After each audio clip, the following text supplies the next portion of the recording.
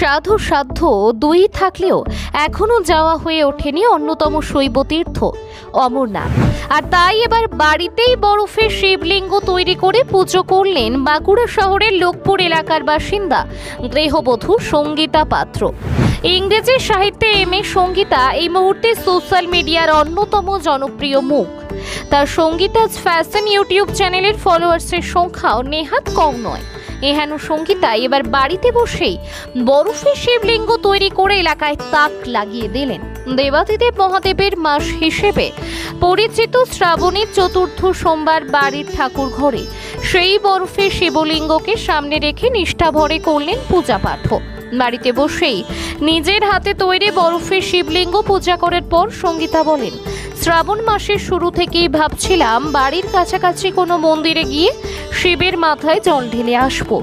কিন্তু নানান কারণে তার হয়ে ওঠেনি। বাড়িতে কোনো শিবলিঙ্গ না থাকায় বরফ দিয়ে নিজের হাতে শিবলিঙ্গ তৈরির বিষয়টা মাথায় আসে। আর সেইভাবেই এই শিবলিঙ্গ তৈরিও পূজা করা বলে তিনি জানান। হাতে বরফ দিয়ে পর দেবাদিদেব মহাদেবকে তৈরি করে পুজো করেছি। তো এটা আমার কাছে ভীষণ বড় একটা পাওনা। আর ভেবেছিলাম যে বাইরে মানে কোনো মন্দিরে গিয়ে পর শিব ঠাকুরের মাথায় জল ঢেলে আসব। তো আগেও একদিন আমি এর আগের সোমবারও বাড়িতে করেছিলাম পুজো আর আজকেও করলাম। তো নিজের হাতে বরফ দিয়ে এটা করেছি। তো দুর্ভাগ্যবশত আমাদের বাড়িতে কোনো শিব ঠাকুরের লিঙ্গ নেই আর কি। তো হঠাৎ করে মনে হলো যে আমিও মানে ঢালবো আর কি শিবের মাথায় জল। তো এই আইডিয়াটা মাথায় আসে। তো বরফ দিয়ে পর আমি তারপর এটা তৈরি করি শিব ঠাকুরের লিঙ্গটা এবং বাড়িতে পুজো করি। বাড়ির সকলেও মানে বলেছেন যে হ্যাঁ ঠিক আছে, তাহলে তাই করো, যখন নেই আর কি। আর তারপরে এই পুজোটা করেছি আজকে। চারদিকে দেখতে পাচ্ছি প্রচুর মানুষজন। এই শ্রাবণ মাস পুরো মানে প্রতিটা সোমবার ধরে প্রচুর মন্দিরে গিয়ে পর পুজো দিয়ে আসছেন। জল ঢেলে আসছেন। পুজো করা হয়, কিন্তু শিব ঠাকুরের লিঙ্গ না থাকায় মাথায় জলটা ঢালতে পারিনি।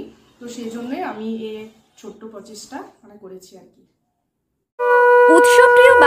শ্রেষ্ঠ উৎসব দুর্গাপুজো। পুজো মানে পেট পুজো।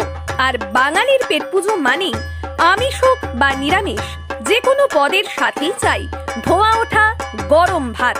আর সেই ভাত যদি হয় বাসন্তী গোল্ড চালের, তাহলে তো কোনো কথাই নেই। বাসন্তী গোল্ড, নামেও শোনা, রূপেও শোনা।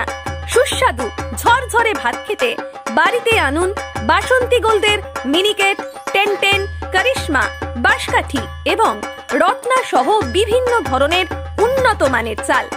আমাদের ঠিকানা মা বাসন্তী রাইস মিল, মিরপুর, উচালন, পূর্ব বর্ধমান।